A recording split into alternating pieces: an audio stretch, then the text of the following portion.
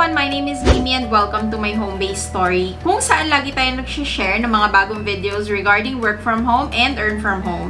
Kaya naman kung bago kayo dito sa ating channel or dito sa ating page, please consider subscribing or following us. And so guys, isa sa mga madalas kong ma-encounter na tanong is kung paano ko nga ba daw ginagawa yung mga screen ko or mga videos ko kung saan nakapatong ako sa um, screen ng walang background. So, ituturo ko siya sa inyo in this video. So, unahin na natin guys kung ano yung mga kailangan nyo. Siyempre, kailangan nyo ng screen recorder. And ang ginagamit ko guys for this one is yung OBS Studio which you can download for free. Ilalagay ko yung link sa baba. And then, of course, you need your camera.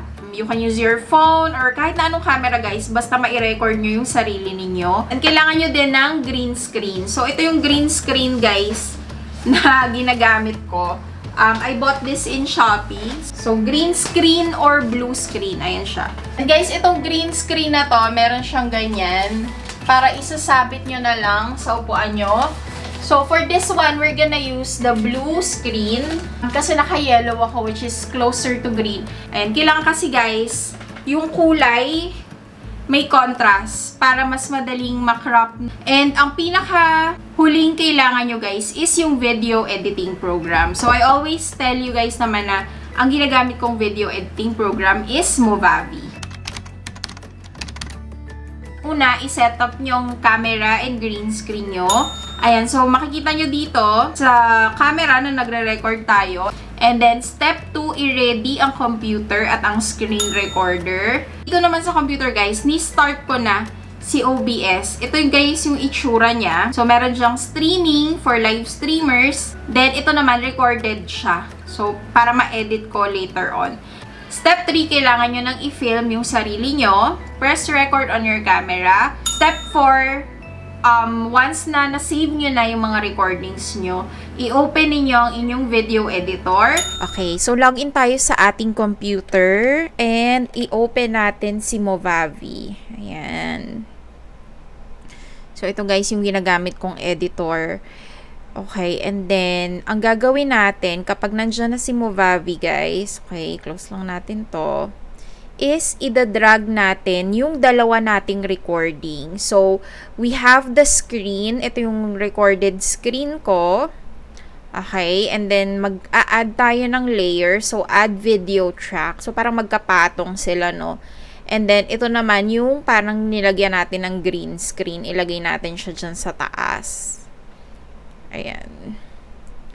So, syempre, ititrim natin hanggang dun sa part na may blue screen ka. So, trim ko lang ha. Um, andito na yata tayo sa part na yan. Ayan. So, syempre, trim natin siya. Tapos, guys, ititrim din natin yung um, screen recording. So, maximize ko to para makita natin. Ayan, line up natin siya dyan.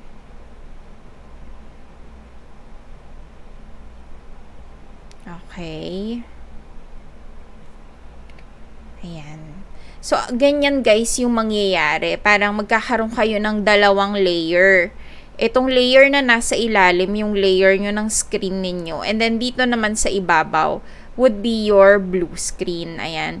So, ang gagawin nyo dito sa blue screen, um, i-click nyo yung, so, pupunta kayo sa, i-select nyo siya, pupunta kayo sa video editing, tapos hahanapin nyo dyan si chroma key. Ayan, and then makikita nyo guys dito sa color, papapiliin niya kayo kung ano yung kulay na gusto nyong i-delete. So, gusto nating alisin yung color blue. Ayan, and makikita nyo na nawala na siya.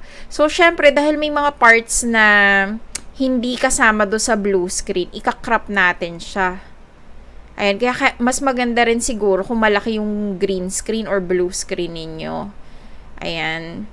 So, makikita nyo dyan na, ayan, parang nawala na. Lilinisin pa natin siya. So, balik ulit kayo sa chroma key. Tas, guys, pwede nyo paltan yung mga values dito. Ayan, yung mga sliders, kagaya niyan.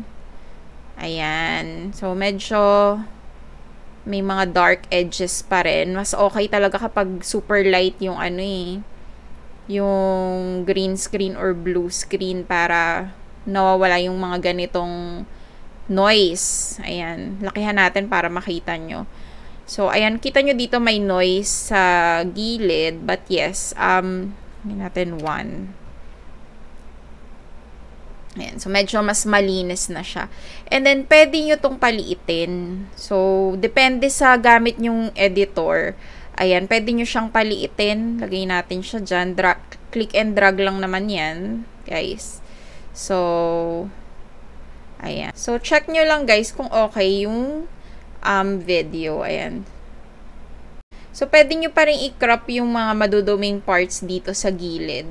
Pero, ayun nga, mas okay kung mas maliwanag yung area ninyo para mawala yung mga ganyang klase ng noise. Pero, ayan na guys, kita nyo na, na magkapatong na siya na uh, meron tayong screen dito sa likod and then, ayan, nakapatong lang ako dyan sa ibabaw.